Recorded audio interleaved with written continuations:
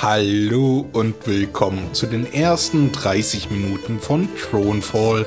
So, dann drücke ich auf Spielen und dann kann es auch losgehen und dann sehen wir uns dieses schöne Indie-Spiel mal an. Dieses hoffentlich schöne Indie-Spiel. Mit VASD kann ich mich bewegen und reiten, kann ich ranzoomen. Zumindest nicht mit dem Mausrad. Ah, vielleicht kommt das hier noch. Oh, oh ich schieße automatisch, das ist ja cool. So, ich mag den Artstyle schon mal sehr. Ich habe mir das Spiel ja immerhin gekauft. Zumindest kurz habe ich in die Steam-Videos und Screenshots zu dem Spiel reingeschaut. Ansonsten habe ich absolut keine Ahnung. Außer, dass es relativ kurz sein soll, also irgendwie 6, 7 Stunden. Obwohl sie haben irgendwie einen Endlos-Modus eingefügt. Muss ich mir nochmal anschauen. Das wird auf jeden Fall in der Beschreibung stehen. Ansonsten, was haben wir denn hier? Halte Leertaste oder A gedrückt, um zu bauen. Okay, sehr schön. Das ist ein Burgzentrum. Wenn es zerstört wird, hast du verloren. Schütze es um jeden Preis. Das Burgzentrum kann später aufgewertet werden, aber im Moment hast du nicht genügend Gold. Ach, wie im echten Leben. Du hast momentan nicht genug Gold, um das zu bauen. So ein Mist. Wo kriege ich denn Gold her? Und was muss ich machen? Nachts greifen deine Feinde an. Halte die Leertaste oder A gedrückt, um die Nacht zu starten. Äh, nein, danke. Ich glaube, in das Gebiet kann ich erst später und soll ich erst später. Ah, ja, vielleicht machen wir das noch nicht. Gut, ich schätze mal, dann haben wir keine Wahl und müssen tatsächlich eine Nacht starten. Sagen, hier kann ich noch was tun? Nö. Na gut. Nacht in ein paar wenigen Sekunden. Okay, benutze die Leertaste, um deine aktive Fähigkeit einzusetzen. Aktive Fähigkeiten hängen davon ab, welche Waffe du vor dem Start eines Spiels auswählst. Momentan ist es ein Nahkampfangriff, also nähere dich deinen Feinden so weit wie möglich. Und er stiche ein. Er stich ein.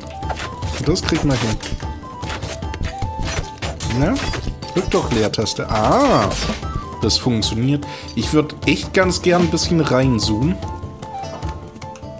Okay. Ein Hammer erstochen, zwei braucht man noch. Das kriege ich hin. Ja, das war der zweite und... Ja, das war der dritte. Investiere dein Gold in den Bau von Häusern. Häuser erhöhen dein Einkommen. Ach, ist das nicht schön, wie im echten Leben. Da habe ich auch keins. Ich wohne zur Miete. Naja, dann habe ich noch ein bisschen Gold. Okay. Zweites Haus. Ah, drittes Haus anscheinend auch noch. Mensch, bin ich reich im Spiel. Fantastisch! Eine gute Wirtschaft ist der Schlüssel zum Erfolg. Jedes Haus, das die Nacht übersteht, bringt dir Morgen etwas Gold ein. Du hast kein Gold mehr, also wird es Zeit, die nächste Nacht zu starten. Halte die Leertaste oder A gedrückt. Das oder A muss ich nicht vorlesen. Wir verschwinden ganz kurz in die Einstellung. Ja, Auflösung ist halt jetzt auf echten 4K. Ich nehme es trotzdem nur in UHD auf. Ich würde gerne ranzoomen. Wintermodus. Oh, hat das Spiel auch. Gefällt mir generell in Spielen eher weniger. Ist so kalt und weiß dann alles. Mag ich nicht. Okay, nächste Nacht. Schade, dass man nicht ranzoomen kann, aber es geht auch so. Genau, dann wollen wir nochmal die Angriffsfertigkeit nutzen. So, sehr schön.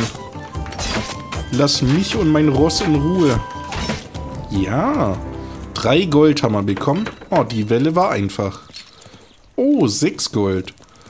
Eine große Armee nähert sich. Es wäre klug, zusätzliche Verteidigungsanlagen zu errichten. Das schätze ich auch so. Oh, ein Wachposten. Einfach bauen für drei Gold. Das Bauen macht schon Spaß und man sieht ja immer, wie viel es kostet. Gibt zwar nur eine Ressource im Moment, wie ich das sehe. So, dann hoffentlich bringt das was. So, nächste Nacht. Ist, glaube nur das Tutorial-Level. Wird schon noch anspruchsvoller für uns. Und das ist ein schöner kleiner Tower-Defense mit einem echt, echt grandiosen Artstyle. Da steckt wieder viel Liebe drin. So. Und mein Pferd durchschlägt die Heere des Feindes. Ja, das hat sich gelohnt. Und her mit dem Gold vier Stück und meine Häuser bringen mir nochmal drei. Sehr schön. Wir haben genug Gold, um das Burg Burgzentrum aufzuwerten. Also gleich mal ran ans Werk. Das klingt doch gut. Aufrüsten für 7 Gold. Upgrade. Königliches Training. Plus 75% HP für deinen Charakter. Plus, 25, äh, plus 75% Angriffsschaden für deinen Charakter. Oh, das lohnt sich aber. Super, das Upgrade, das du gewählt hast, macht dich im Kampf viel stärker. Deine aktive Fähigkeit verursacht jetzt auch mehr Schaden.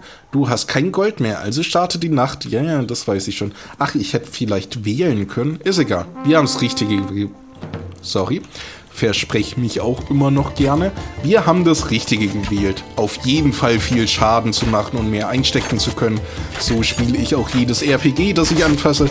Ich kenne da nur eine Strategie und die funktioniert immer so mittel. Aber es ist meine Strategie. Und da werde ich nicht von abweichen. Bin relativ stur, was das angeht. So. Und wieder besiegt. Her mit dem Gold. So, von nun an liegt es an dir, wofür, de, wofür du dein Gold ausgeben möchtest. Versuche eine gute Balance zwischen Verteidigung und Wirtschaft zu halten. Ja, neun Hammer. Ich würde sagen, wir bauen auf jeden Fall ein Haus. Hier gibt es nur feste Standpunkte, oder? Aktuell hat man mit den Armeegrößen noch kein Problem. Okay, so ein Tor wäre natürlich auch nice. Aber wir brauchen definitiv mehr Häuser. Drei Stück. Oh, das kostet nur zwei. Dann sei es drum. Kann man die auch noch aufrüsten? Ja, kann man. Ist das nicht klasse? Was haben wir denn hier? Eine Kaserne. Da kann man Einheiten bauen. Und hier haben wir eine Mühle. Schalte die Option frei, Felder zu bauen, um das Einkommen zu steigern. Hm, gar nicht so schlecht. Ich würde aber tatsächlich sagen, macht man mal hier so ein, eine Festungsanlage, zumindest so ein kleines Tor. Und jetzt können wir noch was für zwei bauen. Oder wahrscheinlich aufleveln. So, ein Haus der nächsten Generation. Okay, da steht kein neuer Text. Dann wollen wir mal die Nacht starten. Da kommen sie ja schon. Uns werden immer mehr. Komm, bevor sie unsere Festung erreichen, müssen wir die aber platt machen. Die sehen schon so bösartig aus. Glaubt, das sind alles Kleinkriminelle hier. So klein, wie die dargestellt werden. Vielleicht lohnt sich das auch hier mit Controller zu spielen. Ist mit Maus und Tastatur völlig in Ordnung, aber vielleicht Große Herrscher brauchen eine Armee. Du solltest darüber nachdenken, bald eine Kaserne zu bauen. Auf jeden Fall. Für vier Gold können wir uns das kaufen. Und jetzt habe ich die Wahl. Ritter. Ritter sind vielseitige Krieger und gut gegen Fernkampfangriffe gepanzert. Oder Speerkämpfer. Speerkämpfer sind schnelle und starke Einheiten. Sie fügen schnell gegen Extraschaden zu und verlangsamen sie. Keine gute Wahl gegen Fernkampfeinheiten. Oh, normalerweise würde ich Ritter nehmen. Die Speerkämpfer klingen gerade ein bisschen besser. Oh, komme ich gegen meine Natur an? Äh, ja, okay. Um deine Einheiten zu befehligen, halte die linke Control- oder Steuerung-Taste gedrückt und bewege dich, bis alle deine Einheiten ausgewählt sind. Äh, zweitens, gehe zu deinem Zielort. Die ausgewählten Einheiten werden dir folgen. Drittens, drücke die linke Control-Taste erneut, um den Einheiten, die dir folgen, zu befehlen, anzuhalten und an dem Ort zu bleiben, an dem du gerade stehst. Das ist doch wunderbar. Okay. Da sind meine Einheiten. Kommt mit. Oh, das funktioniert ja prächtig so. Hier sollt ihr bleiben. Na wunderbar. Okay, das habe ich gut gemacht. Du kannst deine Einheiten auch befehlen, ihre Position zu halten. Wenn du deine Einheiten platzierst, halte die Befehlstaste eine Sekunde länger gedrückt, bis Kreise auf dem Boden erscheinen. Das stellt sicher, dass deine Einheiten dort bleiben, wo sie sind, wenn du nicht möchtest, dass sie sich bewegen. Probier's aus. Das habe ich doch gerade ausprobiert. Da stehen sie doch. So, kommt mit. Wunderbar. Text ist auch verschwunden. So, ihr seid die Vorhut gegen den Feind. Ihr steht hier. Dann müssen wir noch ein bisschen Geld verbraten. Erstmal ein bisschen Häuser aufleveln. Bringt mehr Kohle. Und Kohle ist gut. Dann wird den Feinden richtig eingeheizt. Mit Gold und einer besseren Armee. So, das Burgzentrum kann ich nicht aufwerten.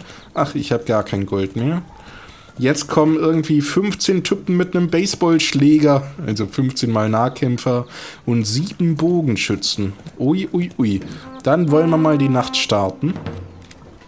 Na, kommt. Auf die Bogenschützen mit Geschrei. Aber meine Einheiten bleiben doch nicht einfach hinten stehen.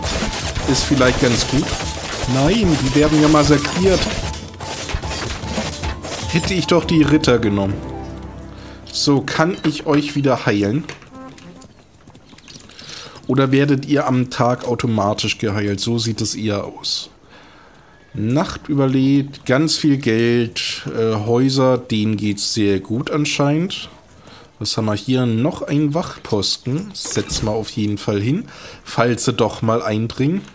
So, kann ich in der Kaserne irgendwas machen? Ja, für 8 Gold. Dann würde ich erstmal hier den Turm upgraden. Oh, hoffentlich ist es jetzt ein schöner Kanonenturm.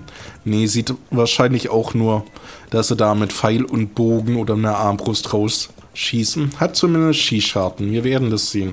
So, ich habe noch 10 Gold. Das heißt, ich könnte noch ein bisschen Armee machen.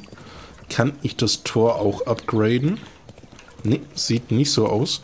Tja, dann wird es Zeit für mehr Armee. Mehr Armee ist mehr gut in dem Spiel. So. Achso, meine Armee ist jetzt nur größer geworden. Ich dachte, ich kann jetzt nochmal auswählen. So, Jungs. Die Nacht drückt an. Dann wollen wir mal. So, Welle 7 von 8. Ich glaube, dann kommen wir entweder ein neues Gebiet oder es passiert was ganz eigenartig. Wie gesagt, ich habe keine Ahnung. Oh, der Wachturm verschießt aber große Pfeile. Komm schon. Los, Jungs. Lasst sie nicht eindringen. Nein, das Tor ist geschwächt. Auf sie mit Gebrüll. Eieiei. Komm schon. Na also. Eine Welle noch. Dann haben wir 8 von 8 Wellen. Und keine Ahnung, was das bedeutet. Was kommt denn da? Vier Roboter mit einem Baseballschläger, der so eine Bandage hat. Keine Ahnung, was das Symbol ist. Die letzte Nacht bricht an. Bereite dich auf einen starken Angriff vor. Ja, und was passiert nach der letzten Nacht? Ist egal, wir haben genügend Geld. Wir können uns komplett upgraden. Vielleicht können wir noch was in der Kaserne machen. Nee. Haus bringt mir, glaube auch nichts mehr. Dann schauen wir einfach, dass wir hier die Sachen upgraden. Och, warum nicht eine Mühle? Was haben wir denn da? Verbesserter Pflug. Jedes zukünftige Upgrade dieser Mühle steigert ihr Einkommen noch weiter. Uh.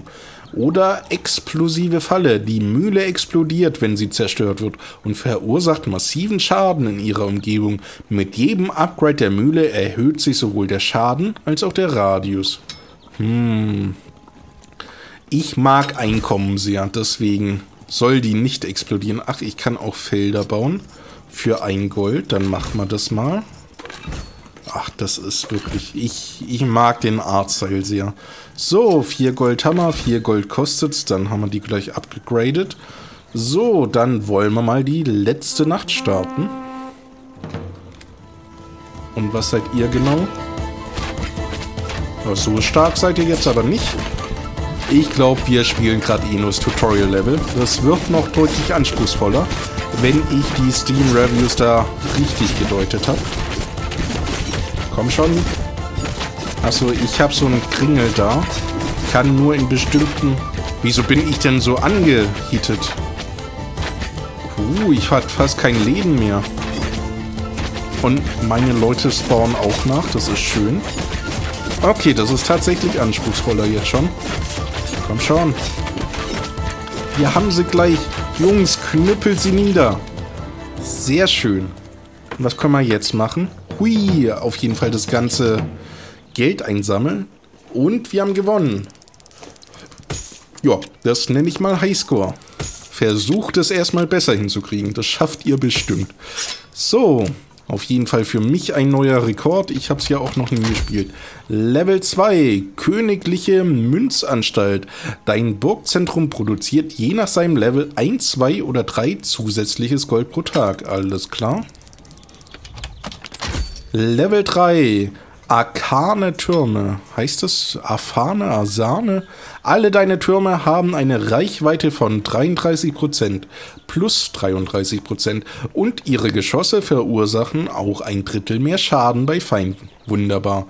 Ich glaube, das heißt Arkane. Das ist ein komisches, das sieht aus wie ein altes S, keine Ahnung. Woher soll ich das wissen? Level 4.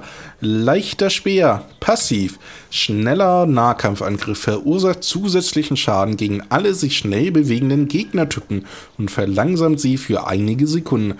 Wirksam gegen schnelle Gegner. Aktiv. Heilt dich und erhöht dein Angriffstempo für einen kurzen Moment erheblich. Wenn du die Fähigkeit aktivierst, während du unter 30% deiner maximalen Gesundheit bist, hält der Effekt länger an. Na gut, bitte, das reicht an Leveln. Oh, wir haben Level 5. Schwere Rüstung. Du hast massive plus 250% mehr Gesundheit. Ich habe doch gar nicht genießt, aber trotzdem Dankeschön. Dann zurück zur Karte. Ich glaube, dann können wir das nächste Level... Ja, das sind wir... Das haben wir wunderbar abgeschlossen. Dann können wir gleich auch sehen, wie es weitergeht. Ja, da gibt es noch einige Level vor uns. Müssen wir uns an irgendwas Bestimmtes halten? Was, da ist ein Wegweiser.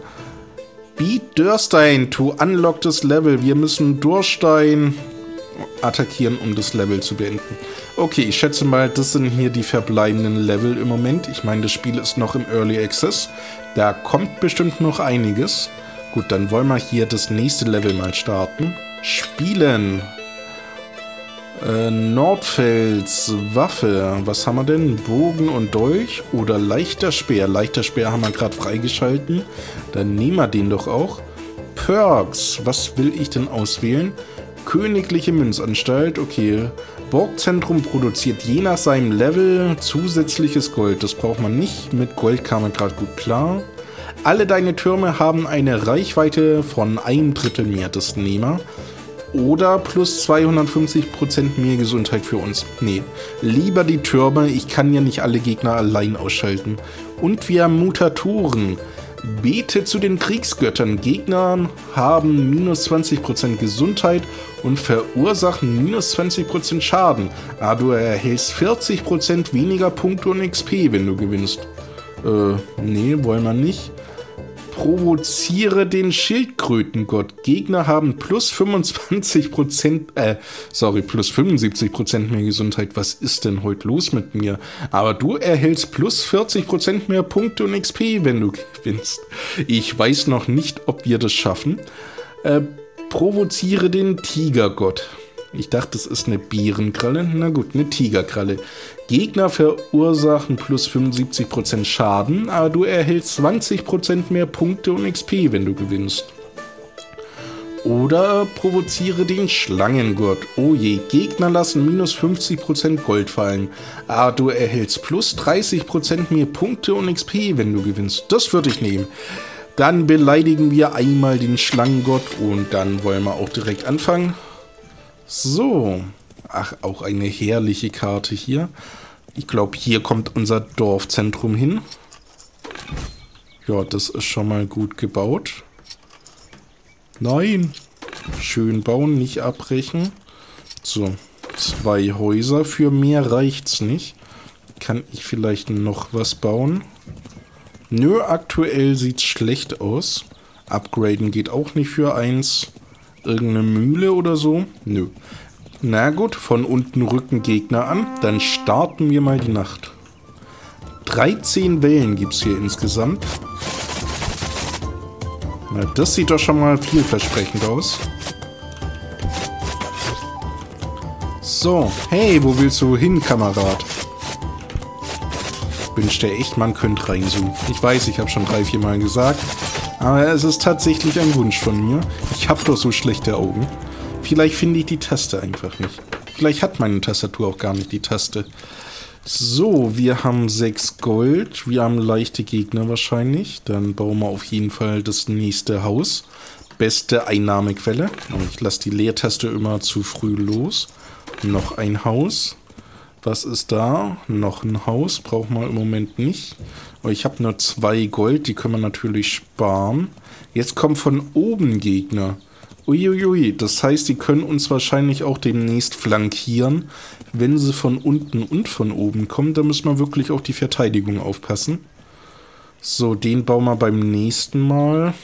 Gut, zwei Gold, das lohnt sich eigentlich nur, wenn wir tatsächlich gerade noch ein Haus bauen. Dann kriegt man ja nach der Nacht die zumindest ein Gold wieder zurück. Hab mir gedacht, vielleicht heben wir es auf, aber vielleicht auch nicht. Das sind schon mehr. Komm schon. Oh je, oh je. Lasst meine Häuser stehen. Ich hätte echt eine Kaserne bauen sollen wahrscheinlich. Nein, mein Haus, das habe ich doch gerade gebaut. Nein. So viel zu meinem... Oh, ich habe kaum noch Leben. Nein. Mein schönes Einkommen. Was macht ihr denn mit mir? Oh je. Schwere Verluste erlitten. Her mit dem Gold. Nur fünf Stück. Feinde kommen von unten. Kaserne ist zu teuer. Glaube ich zumindest. Wo ist sie denn? Ich würde auf jeden Fall hier mal den Wachturm bauen. Ich weiß, dann können sie auch ein bisschen was zerstören.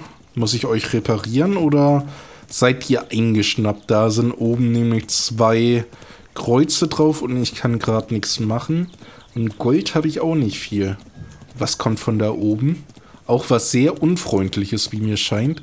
Zweimal komische Spikey-Raupen. Na gut. Mir bleibt nichts anderes übrig als Achso, ich muss das hier erst upgraden, dass ich wahrscheinlich die Kaserne freischalten kann. So ein Mist. Ich glaube, ich habe mich schon verstrategisiert hier. Ist egal. Wir beginnen die Nacht. Uns bleibt nichts anderes übrig. So. Einen davon haben wir schon mal erledigt. Da sollte noch einer kommen. So. Boah, macht der viel Schaden. Nein! Ich bin gestorben, aber zum Glück werde ich wiederbelebt. Wollte ich doch nicht. Nein, mein Turm. Mein Turm. Boah. Also es geht schon hier ein bisschen mehr zur Sache. Ihr dürft mein Dorfzentrum nicht erledigen. Oh, oh. Oh, ein Glück. Ich kann sie weglocken. Nein, sie kommen wieder. Nein, ich habe verloren. Nein. Das, so kann man sich auch dämlich anstellen. Na gut, das machen wir gleich nochmal. Yay, ein neuer Rekord. Ist das nicht schön? Nochmal versuchen. Neues Spiel. Äh, wir lassen mal die Mutatoren weg. Vielleicht bin ich einfach ein nicht geskillter Spieler. So, zu viele Häuser auf einmal sind anscheinend nicht gut. Wer hätte das gedacht? So, diesmal aber hier gleich den Turm. So, lasst die Nacht hereinbrechen. So. Diesmal gibt es hier aber nichts. Außer auf die Schnauze. Nein, aber doch nicht bei mir. Ja, gar nicht so leicht, wenn ich diesmal klug spiele. Ich hoffe, ich spiele klug. Die haben mich in einer überraschend niedrigen Welle kassiert. Das ist mir nur ein bisschen peinlich. Nur ein bisschen. So, was brauchen wir dann noch? Noch ein Turm. Ich glaube erstmal nicht, obwohl da kommen acht Stück. Ich hätte aber ganz gern mehr Häuser. Wir brauchen das Geld. So leid es mir tut. So, wir haben theoretisch noch vier Gold. Ach, was soll's. Die Welle schaffen wir und danach können wir die Kaserne bauen. So. Lasst die Nacht beginnen. Und die Spiele natürlich auch. So. Schön ausmalen. Einen haben wir schon. Den zweiten haben wir auch. Wir brauchen mehr Türme. Nein! Gebt doch meinem Pony nicht so auf den Sack.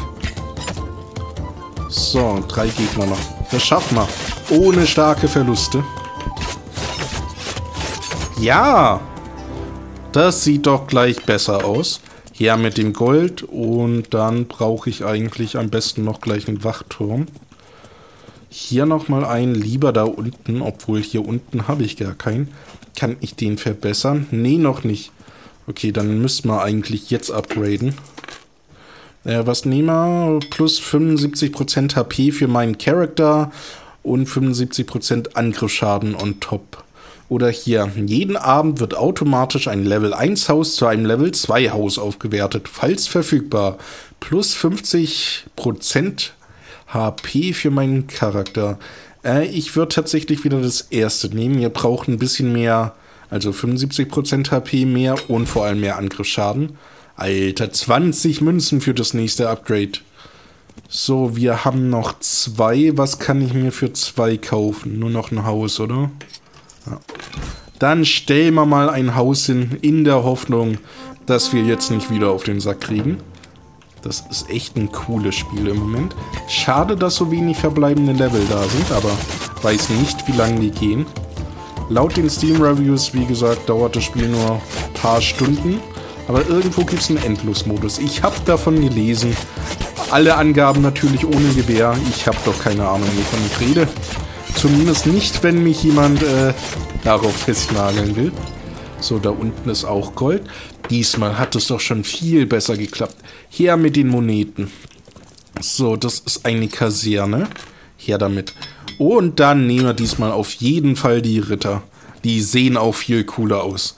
Weiß nicht, was in mich gefahren ist, letztes Mal keine genommen zu haben. So, ein Wachturm kann nicht schaden. Mühle brauche ich gerade nicht. Festung, ah, da fehlt mir ein Stück Gold. Bogenschützen-Übungsplatz haben wir. Noch ein Haus.